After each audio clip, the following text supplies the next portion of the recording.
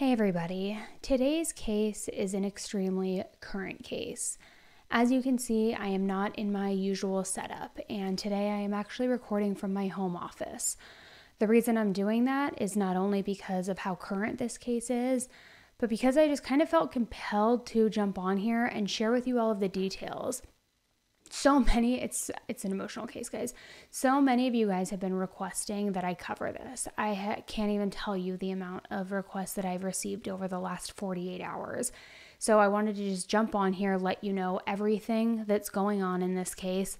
This is definitely going to be a part one of part two maybe even more because there are still so many details emerging. But again i just with the amount of inquiries and requests coming through, I wanted to at least share what we know now to give everybody a little bit of understanding of what's going on.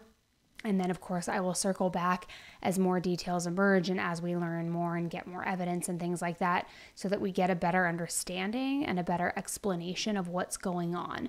So, I apologize for the unusual setup, probably the poor lighting, probably the awful audio, but as I'm sure we can all agree on, that's not what matters in a situation like this. It's especially a hard case given that today, while I'm recording, it's Father's Day. It's one that has rocked the nation and is very difficult to talk about, but I'm going to jump on here and I'm going to share with you everything that we know so far, as I said. I'm going to be following this one very closely, so please check back for part two, possibly even more. And I just want to give a little bit of a warning that this is a case that will most likely not only break your heart with the details, but it is probably also going to anger you quite a bit. So please be prepared for that. It's something that just it has more questions than it does answers at this point, which I think is something that is making it challenging for all of us to wrap our minds around. And I think that's also a contributing factor as to why there's been so many requests for this case because there are so many questions and so few answers, and we're just trying to understand. So, I'm going to stop talking, stop rambling, but today we are going to go over the Doerman family case happening right in Ohio. Hey guys, I'm Annie Elise. This is 10 to Life, and let's jump right in.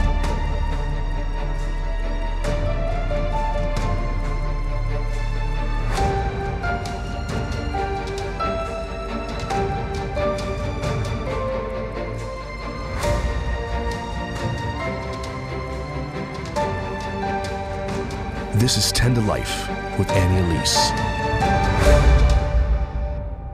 Chad Christopher Doerman is a 32 year old man from Clermont County, Ohio.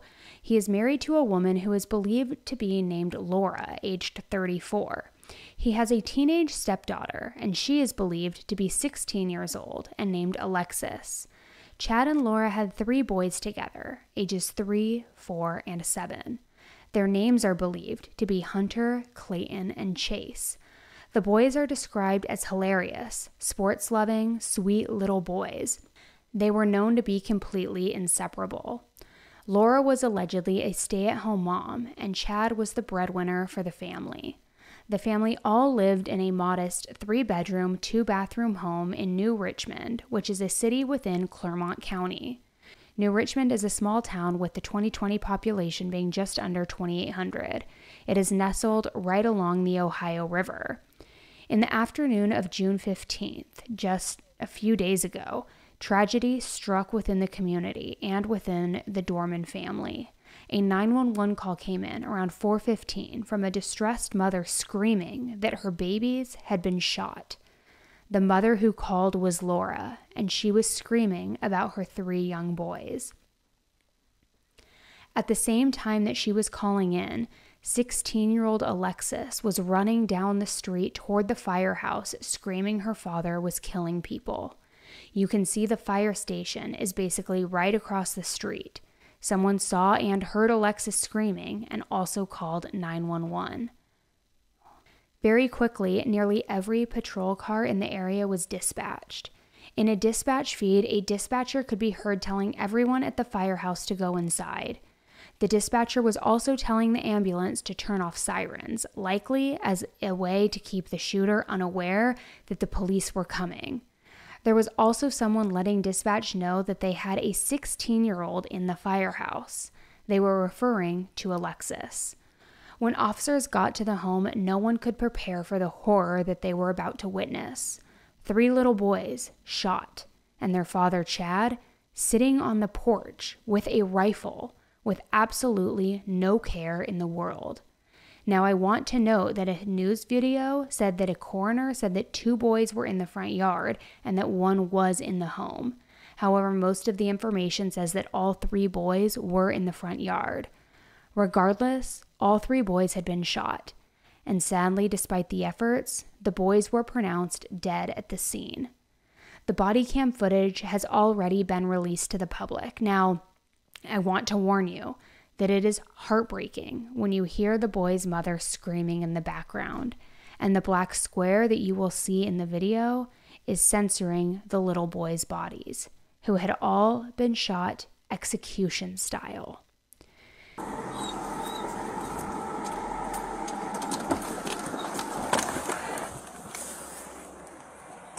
Where's he at? He said, shooter's on the porch. Get him right Yeah. here. Right here. You got him on the porch. We've right here. asked, that's the last place we've been told. You that show me on your hands now! Stand up and Stand up and walk towards us! Stand up now! Walk towards us! Stand up with your hands up! We know we got a visual in the veil. Not showing his hands, not following commands. Stand up Still now! not showing hands, so we're calling command. His name is Chad Doerman. Chad Hey. Doerman. I know, but I know, but we can't. If people need first aid and he's not complying, and you know he's a shooter, shoot him. We gotta find cover first. We ain't no good if we ain't safe ourselves.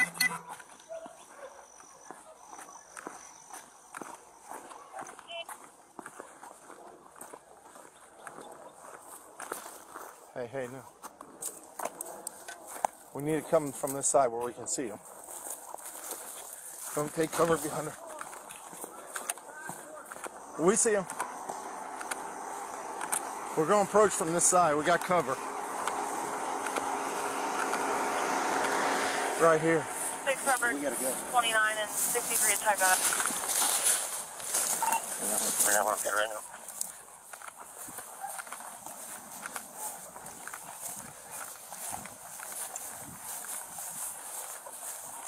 Show us your fucking hands now. Stand up. Stand up. St- Stand up. Stand up now. Stand up. Stand the fuck up. EMS to stage and air carrier is going to go ahead and fly whenever any units can advise. Get your hands out here. 72. Tell them we're 21. Send the air. If those guys can confirm that there's people that need first aid and that's the shooter, he's not complying, they need to take care of the I got it. they have to shoot him, then shoot him. Man, I ain't trying to hurt nobody. or nothing. I'm completely sober. Never did drugs a day 63, in my we're life. 21. Get the EMS over here. Well, I, I did drugs when I was little, but I don't do drugs now. I'm sober. I'm not trying to fight you. 63. Get your butt inside. Gatlin, get your butt inside. We on primary? Now. 29, we got three kids down. Three kids down, 16 feet up. Gatlin, 63, we're 21. Knock Have it off. EMS respond over here. You're clear, they're being advised. Robert 34, just started mass casualty response. 63, do you want them to respond to the Laurel Lindale address? Where exactly do you need them? We're right in the front yard.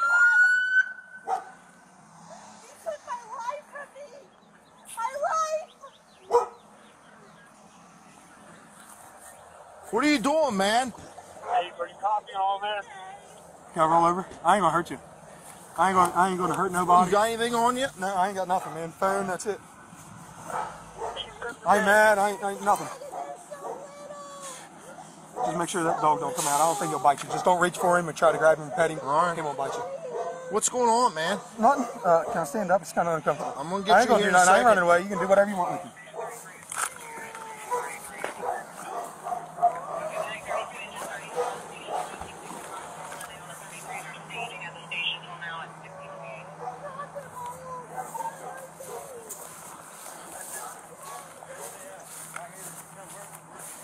Here. You the only one else inside the house? What? You the only one else inside Yeah, the house? yeah. yeah. Sit down right Uh, here. My my daughter, she ran over to the fire department. Sit down. Uh, it's my stepdaughter. Put him in the cage. This is Will. Will. They're all being advised to come. They've requested two additional medics. There's also air flying, but they need an LV and medic coming. Yes.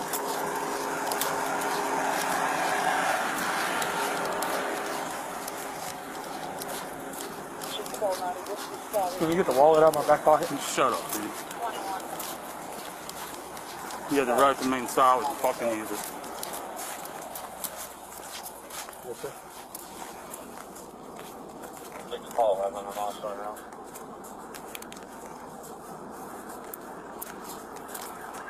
I'm almost there.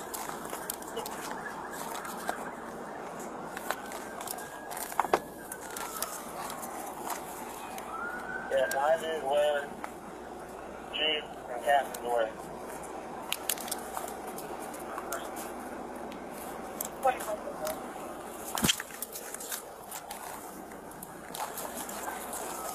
Thirty-four.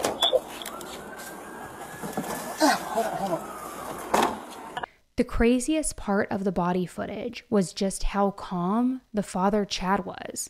I noticed that he mentioned that he was not drunk, as if that would be the concern with three murdered children in the front yard. I can't imagine the strength that it took law enforcement to stay calm with him when they were witnessing such a traumatic event that had been caused by this ever so calm man, the, their own father. During all of that, Laura was quickly rushed away to University of Cincinnati Hospital since her hand had also been shot. She wasn't made aware until later that evening that her boys were officially pronounced deceased. As more details started to unfold, the community was not prepared to hear what had happened at the hands of this horrible human being. Chad, who had been planning this apparently for months, lined his three young boys up in the front yard.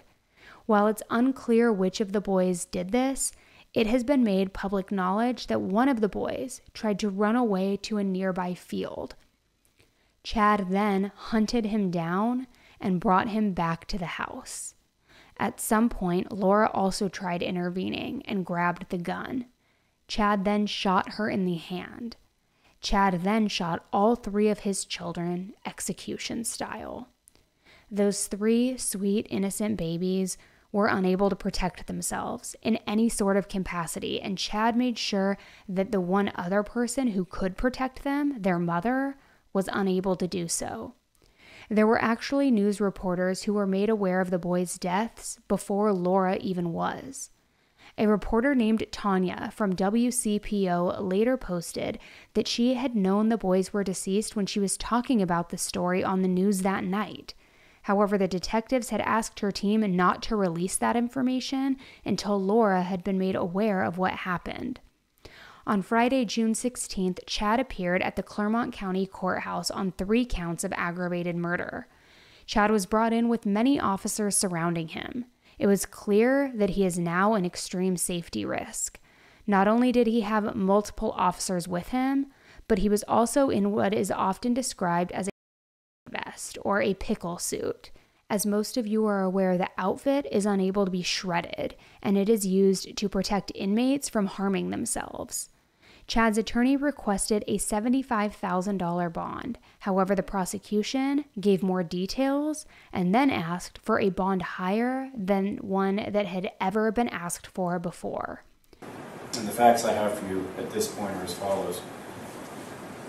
The trauma that this man has inflicted on his family, the community, law enforcement, first responders, and all of the rest of us who have any idea what's going on here is unspeakable. There's been a full admission in this case, Judge. The case is still new. Uh, we're still discovering facts. But the evil horror of what we know is impossible to process. In an act of just incomprehensible cruelty, the father that stands before you lined up his three young boys and he executed them in his own home with a rifle. They were ages three, four, and seven, Judge. in an act of desperation to save her children, the mother at some point grabbed the gun that father was wielding to attempt to protect them. We know that one of the boys was able to flee into a field near home. And again, we know from his admission, father hunted that boy down, drug him back to the property, and executed him in front of witnesses. The mother was shot through the hand in her attempt to protect her children. Judge, I asked the court in setting this bond to just begin to imagine their fear. This was the man that every day they woke up looking to for protection, love, guidance in all things. The man they trust more than any other person on earth. The person they rely upon to keep them safe from harm. He was their world. He was their guardian. And he executed them in cold blood. We know that from his admission. By that same admission, Judge, he has committed one of the most monstrous, craven, cowardly acts that will ever be our misfortune to see. To make things even more disturbing, Judge, this was no haphazard act. Again, by his own admission, he planned the events of this day. Did not happen on a whim. He's confessed to what I believe is the worst crime, at least I hope, that I'll see in my lifetime. I hope it's the worst fact pattern that ever comes before this court. Judge, it's important for the court to know in the bond we're going to request today, for the court to understand Clermont County deputies, Monroe Township Fire and EMS, and other first responders bravely respond to the scene where they don't know what's going on. They did not know what they're facing, and they come into a a scene that no one can ever be prepared for. No law enforcement training, no training of any kind prepares you for this. It's easy to forget that these are men and women with families, children, feelings, emotions. They're not some automaton performing a delegated function, they're people.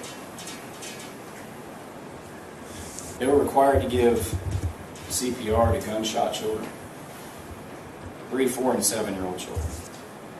They held these boys in their arms, knowing, knowing there was nothing they could do to save them.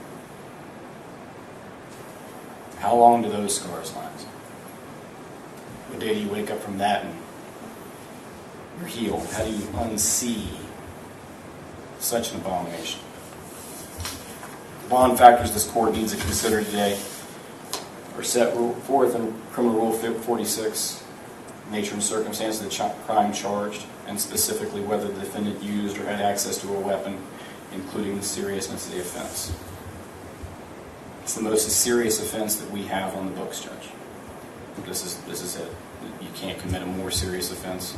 So the nature of the crime charge is the worst crime that can be charged. Did he have access to a weapon? Yes, obviously he did. The weight of the evidence against the defendant at this point, Judge, we stand here with a full admission of the defendant. That also goes to the confirmation of the defendant's identity and witnesses on scene did see at least part of what happened. Next, the court is to consider the likelihood this person would return the court if a bond were issued. Again, this is the most heinous crime with the most severe penalty under the law that we presented to the grand jury. That alone would be a, a major factor in discouraging a person from availing themselves to this court or any other. And the thought to flee and the likelihood of flight is great in the state's opinion. The danger he poses to the community is a factor that this court can consider, and I think with the facts in front of you, Judge, we can't name a person that poses a greater threat to the community. As his prior record goes, Judge, it is fairly minimal. He was charged with domestic violence in 2010. he is not, to my knowledge, on probation community control. Judge, the facts of this case are hopefully like no other we will ever see. When this case gets indicted in the Court of Common Pleas, I am certain that a no bond hearing will be held, and I would hope that would be granted. But at this point, at this juncture, we're going to ask this court to issue a bond we've never asked for before. I'm going to ask for a bond of $20 million. I hope I never need to request such a bond again. Thank you. Uh, Date for preliminary hearing? The date for the preliminary hearing, Judge, is 6/26. No objection, Your Honor. The preliminary hearing will be set for June 26th at 1 PM.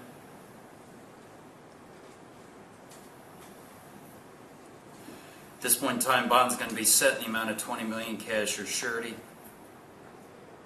Anything else at this time, Mr. Gast? No, Judge. Mr. Dowd? Mr. Kalman, anything further? Nothing at this time. right, thank you.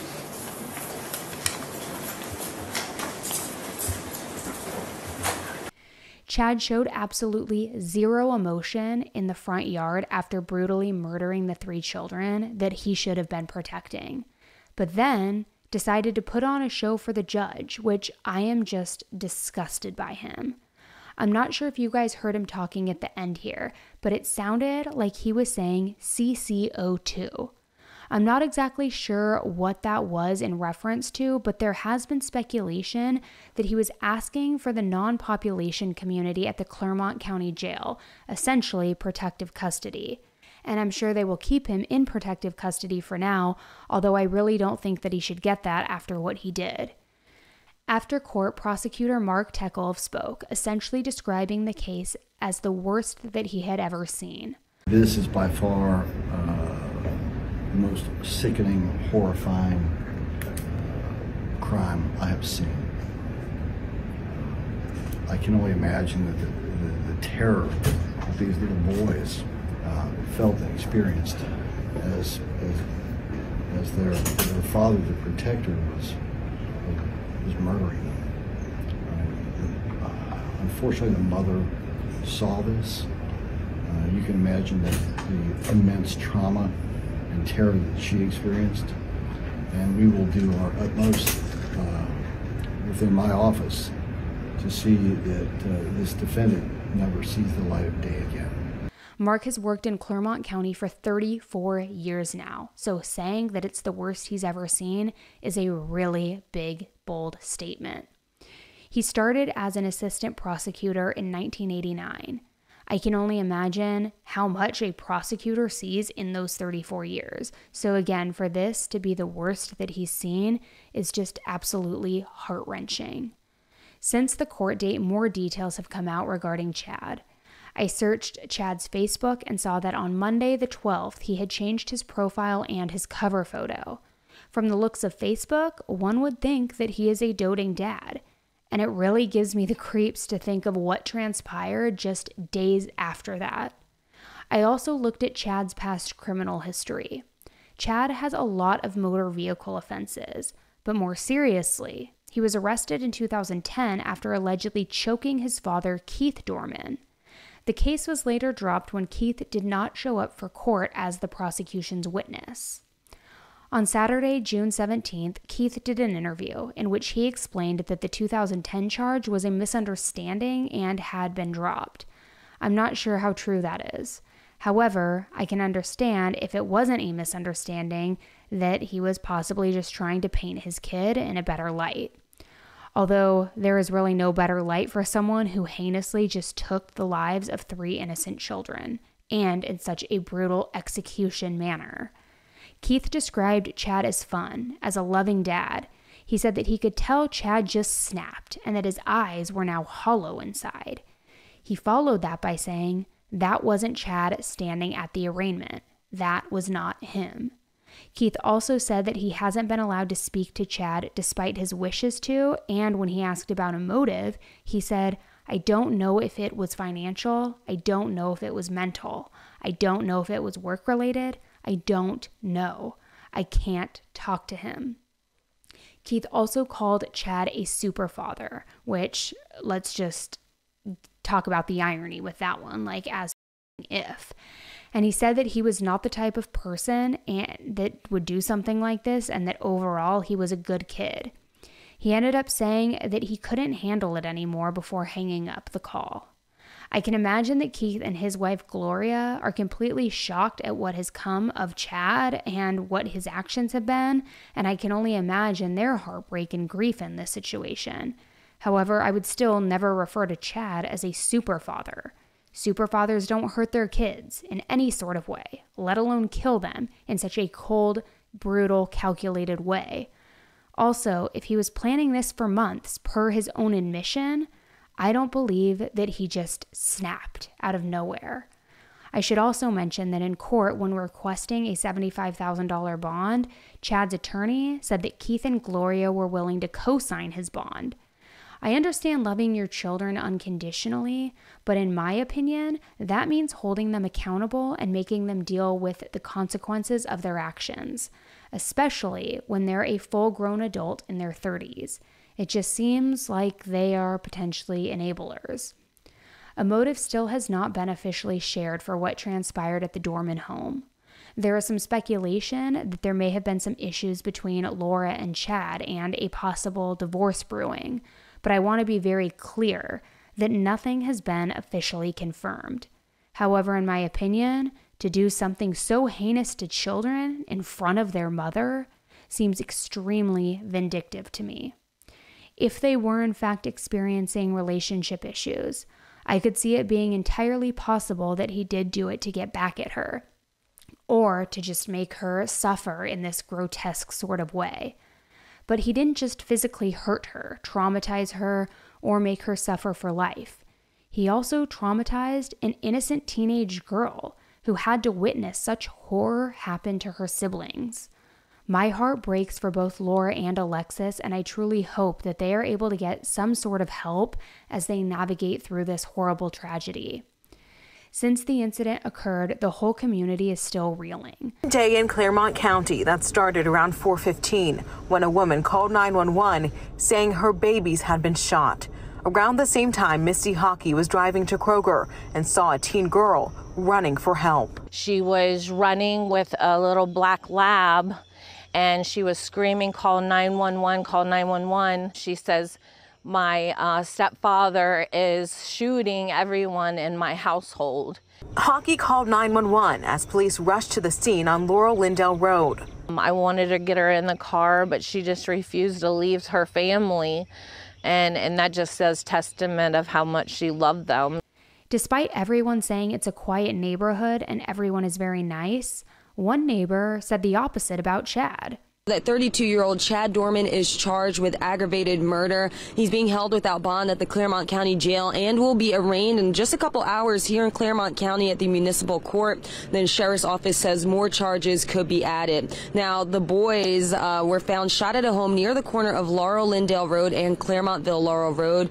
We learned that an unknown woman called 911 screaming that her babies had been shot. And just three minutes later, a separate caller who had driven by called 911 and said that they had seen an an underage girl running down the road saying, quote, her father was killing everyone. Now, when the sheriff's deputies came to the house, that's when they found Doerman sitting outside on a step. They also found the three boys unresponsive in the yard with gunshot wounds. Now, we know that they did try life-saving measures until Monroe Fire and EMS arrived, but the boys did die at the scene. Now, the boy's mother, a 34-year-old woman, was also outside of the home when officials arrived. Uh, we learned that she also had a gunshot wound to the hand and was transported to UC Medical Medical Center. Now, you guys have been hearing from a neighbor who was home at the time of the incident, and he spoke with us, and he told us uh, really what type of person Chad Doerman is and what he heard and saw from the scene. I we heard gunshots and I didn't know what it was. So I went to the store and come back and then I you know found out really what happened. And unfortunately, I did see the kids laying in the yard. Um, the guy was very unstable. Just uh, he was an unstable, unstable person. He was just very mean. He was very angry. Every day yelling at his wife.